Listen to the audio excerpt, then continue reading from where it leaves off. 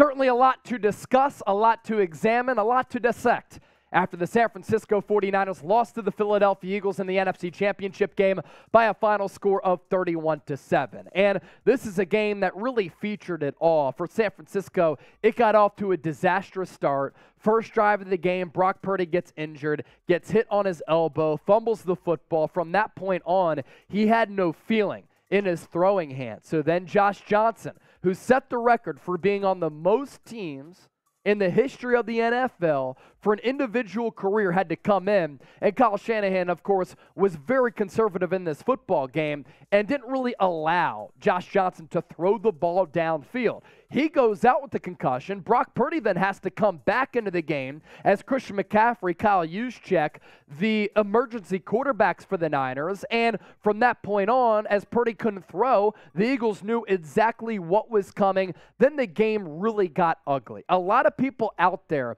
are also going to try to point to the referees for the reason being that the Niners lost this game.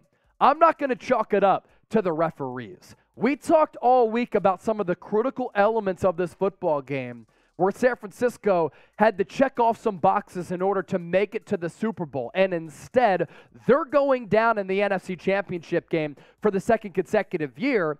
Yes, because of injuries, but also because of turnovers. As they turned the football over three times in this game, Philadelphia able to capitalize. They committed numerous and countless dumbass penalties that cost them at multiple junctures in this game at critical spots.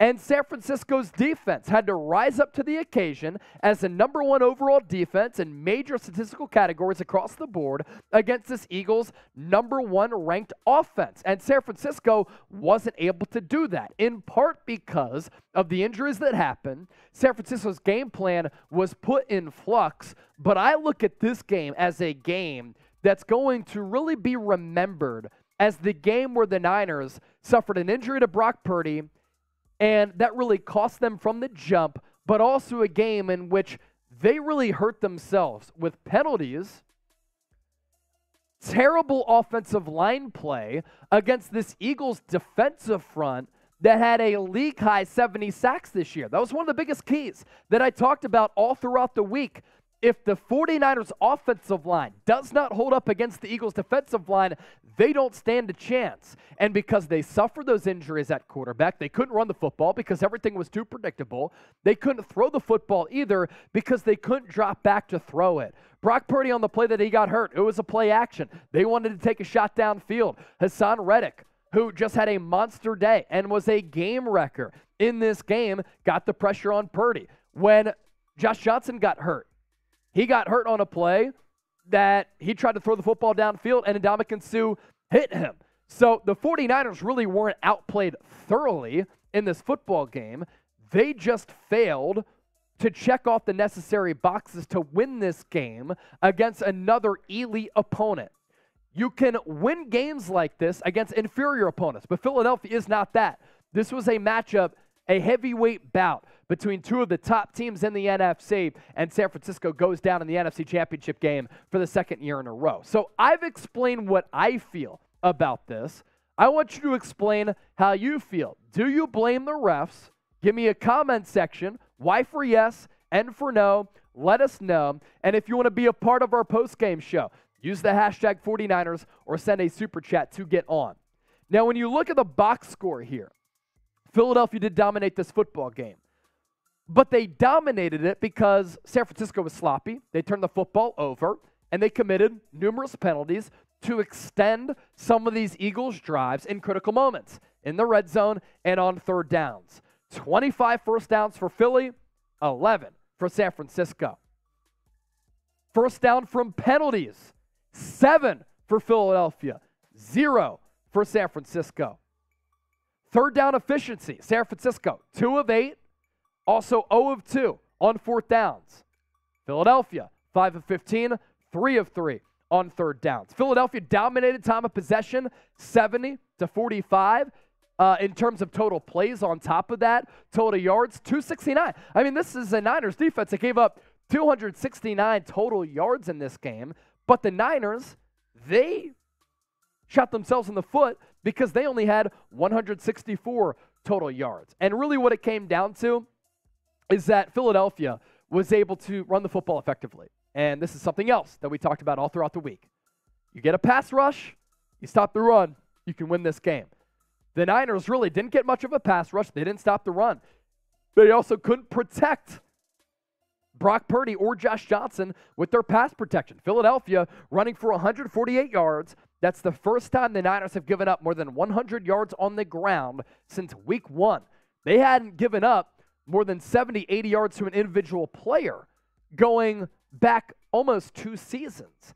And Philadelphia able to run the football very, very effectively. Now, our post game show, before we start taking your questions and your super chats, is presented and brought to you by Athletic Greens. I gave AG1 a try because, given my work schedule here at Chat Sports, combined with my training regimen, as I've currently run for 252 straight days, I wanted sustained energy and I wanted to stay healthy by keeping my immune system strong and my body strong so that I can strive toward my professional work life and personal fitness goals. I take AG1 every morning as part of my routine, and it sets the table for the rest of my day. It's helped improve a couple of things here my gut health, it's boosted my energy, supports my immune system, helps me recover since I'm putting such a toll on my body.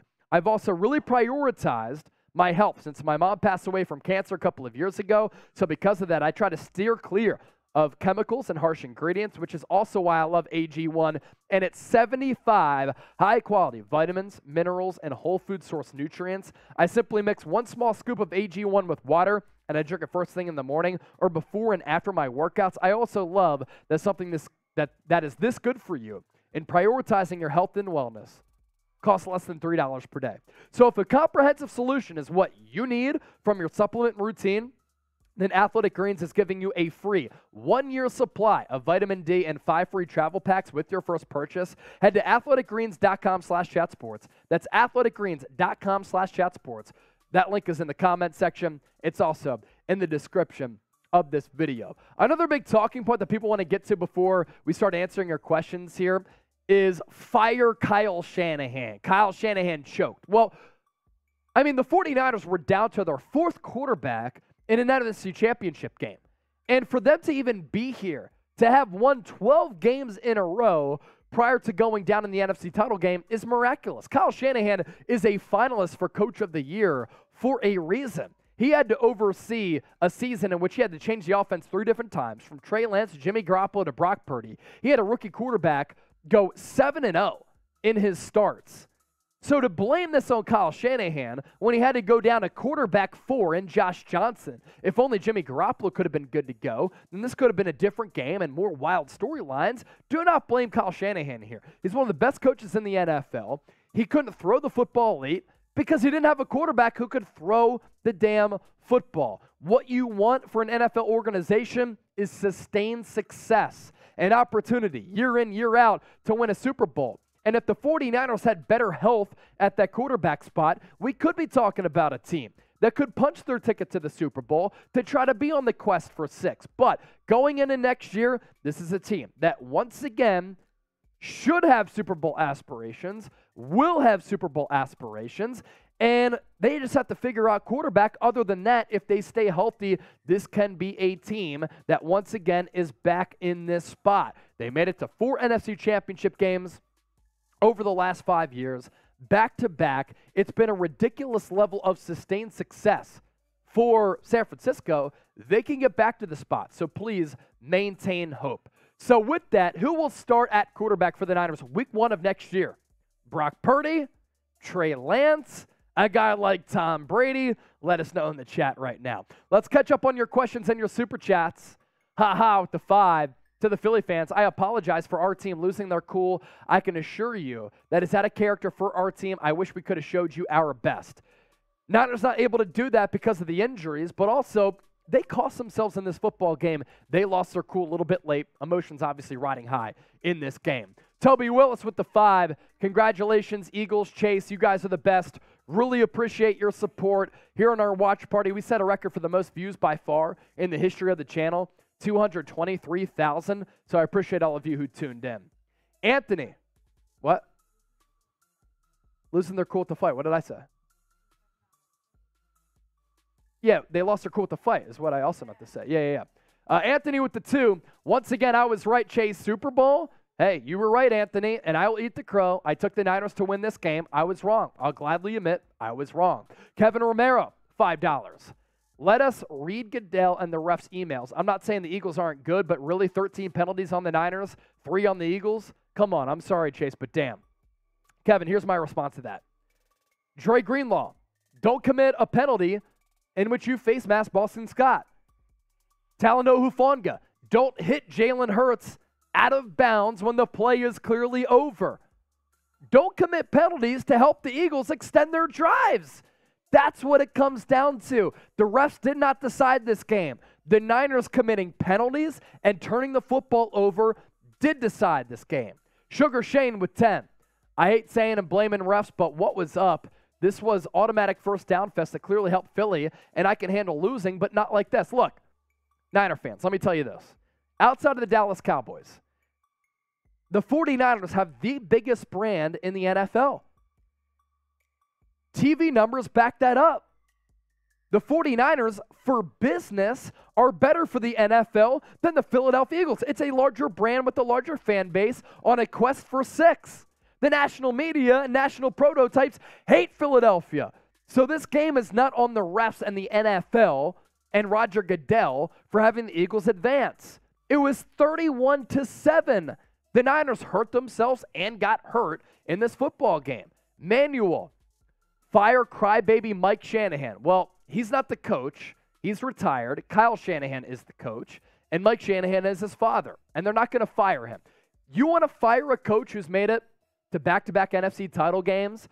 He was on the precipice of being in two Super Bowls two times since 2019. Sustained level of success. You want to get rid of him? You want Jim Tomsula? You want Chip Kelly? Come on now. Anthony with the five. After this loss, I hope we all realize what Brock means to our team. Our team felt that. Pass rush is a concern. Offseason, we got to address nose tackle and defensive line. Um, yeah, look, I'm not sure what the quarterback future is for the Niners. I don't know if it's going to be Trey, Brock Purdy, if they're going to have a competition to battle it out to see who's going to be the starter. Uh, I thought that the Niners were able to get pressure early on against Jalen Hurts and confuse him. It just wasn't sustained throughout the game. They let DJ Jones go, and Javon Kinlaw has ended up being a bust. I'm not sure how much nose tackle is a massive priority. I think this team is stacked. They're well equipped. They're one of the best teams in the NFL. Injuries just really crushed them today. Please make sure you subscribe to the show before we hop on out of here for our post game show and continue to take your questions news, rumors, live streams, watch parties all day, every day, year round. This is your one stop shop for the best coverage right here for the 49ers.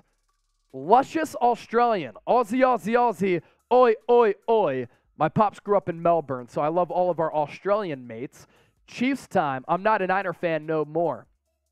Unfortunately, we will not see a Niners Chiefs rematch. Nicholas Allen with the two, rigged in the first eight minutes. Brock Purdy got hit by Haason Reddick, and the ball came loose on a fumble. That's what happened in the first eight minutes. The Eagles went right down the field, 66 yards on 11 plays, the first drive of the game. Niners couldn't stop them. That's not rigged. That's not rigged. More super chats continuing to pile in. We'll answer those here. One more from Joshua Mess, 99 cents. We appreciate that, Josh. You're the man. Grade the season. A, B, C, D, or F before we hop on out of here. Let us know down in the comment section. Grade the season. What do you think of it? A, B, C, D, or F. We appreciate all of your support during this season. It's been a magical ride, best year to date here on the 49ers Report. I have nobody to thank but all of you for supporting us.